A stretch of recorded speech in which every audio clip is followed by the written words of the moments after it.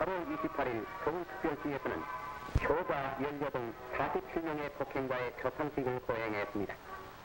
김 서울특별시장이 폭행자들에게 표창장과 기념품을 수여하고 그들의 미행을 높이 찬양했습니다.